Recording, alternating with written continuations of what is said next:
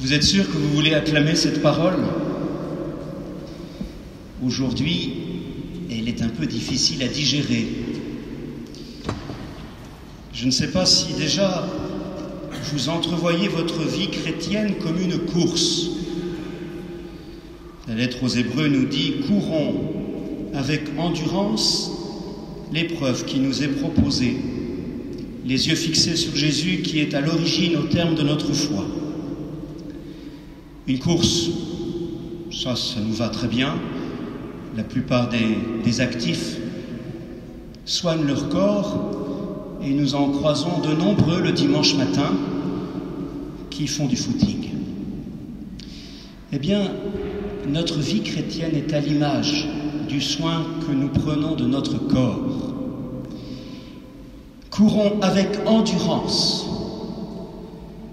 Déjà, vous l'entendez, si vous croyez que la vie chrétienne, c'est seulement le dimanche, une heure dans la semaine, vous avez un léger problème de compréhension de ce qu'est la suite du Christ.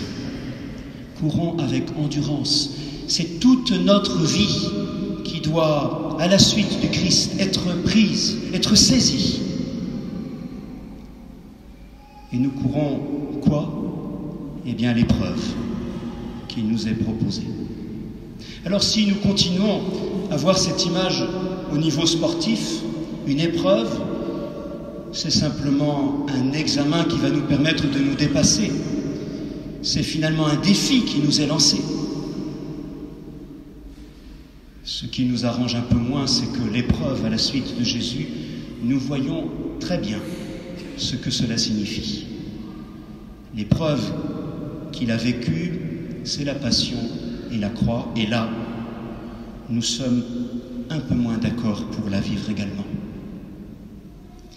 Courons avec endurance l'épreuve qui nous est proposée, les yeux fixés sur Jésus, à l'origine et au terme de la foi.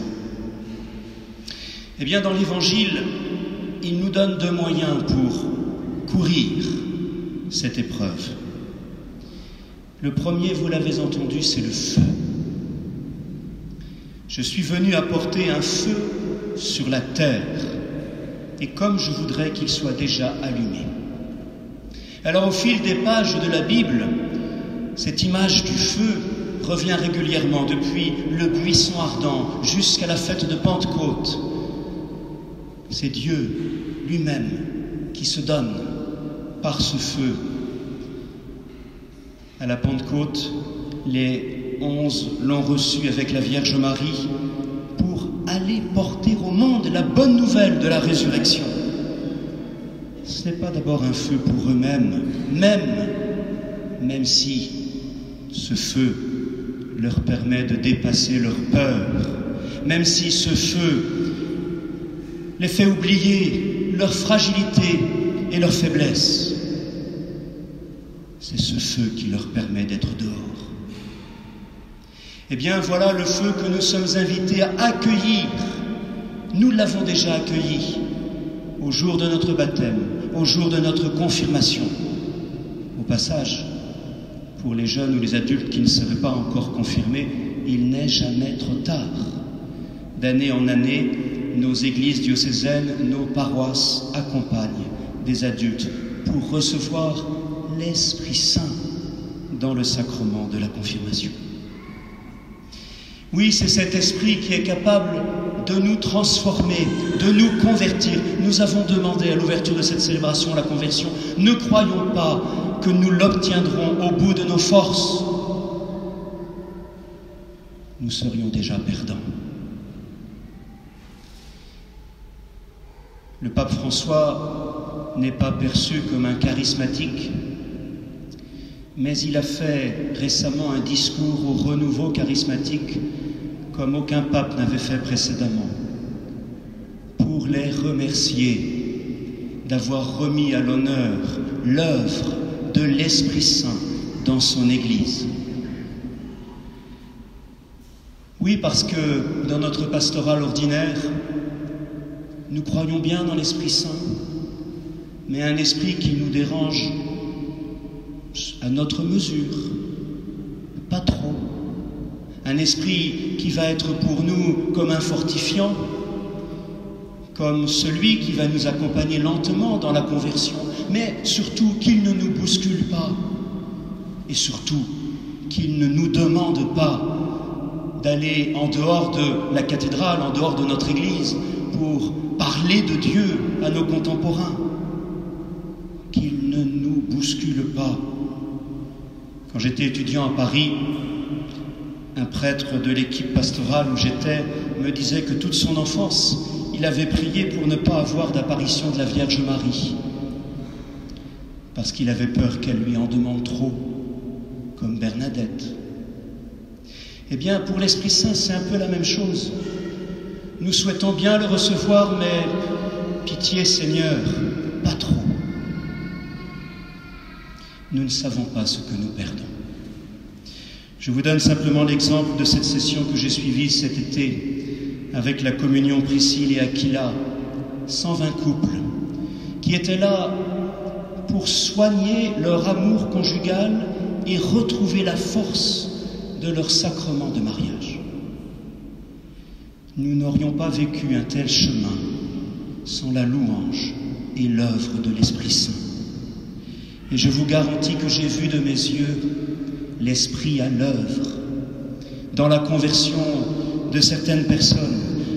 Oh, ça se fait en douceur avec de multiples larmes pour reconnaître une blessure d'enfance, pour reconnaître une addiction qui empêche la vie conjugale, qui empêche la réelle communion des corps et des esprits. Et pendant cinq jours, l'Esprit a travaillé.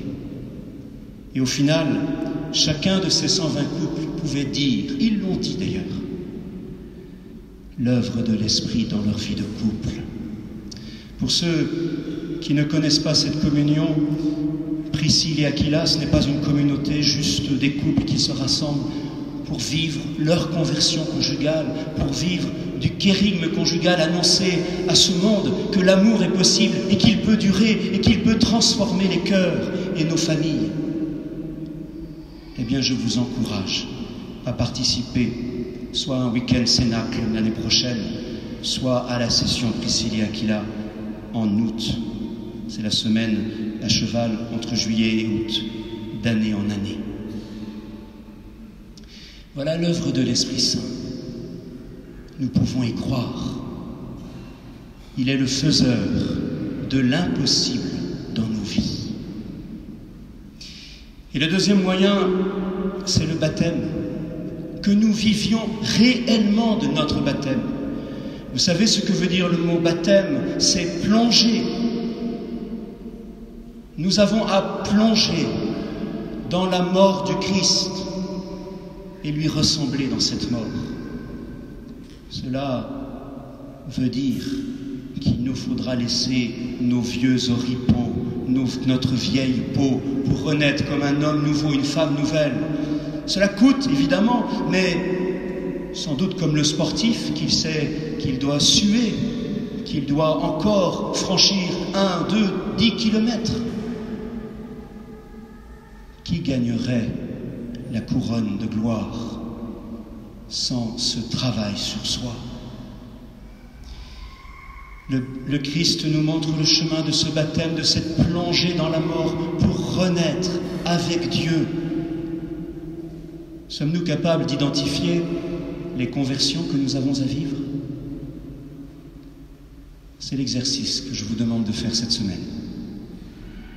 Quelles sont les conversions de votre vie nécessaires, encore à vivre? Je vous rassure, la conversion, ce n'est pas une bonne fois pour toutes, c'est jusqu'à notre mort, pour nous parfaire à l'image de Dieu, pour accueillir l'Esprit Saint qui nous sanctifie. Ainsi, peut-être, pourrons-nous nous passer du purgatoire et entrer directement dans le royaume de Dieu. Nous travaillons pour nous, mais nous travaillons pour notre monde. Les premiers apôtres ont baptisé comme on n'a jamais baptisé par la suite. Eh bien, vous le voyez, notre monde aujourd'hui se sépare de l'Église catholique. si ce n'était que de l'Église, mais c'est surtout de Dieu qu'il se sépare. Il nous faut à nouveau labourer le terrain comme les premiers apôtres le faisaient, parler de l'amour de Dieu, de cet amour transformant, de cet amour qui fonde la vie, une vie qui ne finit pas. Nous allons, après ces vacances, reprendre tranquillement notre vie, pourvu que ce ne soit pas si tranquille, pourvu que le feu de l'Esprit Saint nous embrase, pourvu qu'il nous pousse dehors pour renouveler ce monde. Nous savons que les défis de la société sont immenses, des lois s'annoncent, qu'il faudra sans doute expliquer, ou du moins expliquer et critiqué pour la vie de l'homme. Nous sommes tous attendus dans, au cœur de notre société. C'est le Seigneur qui nous envoie. Si nous voulons ressusciter, il faudra passer par cette épreuve.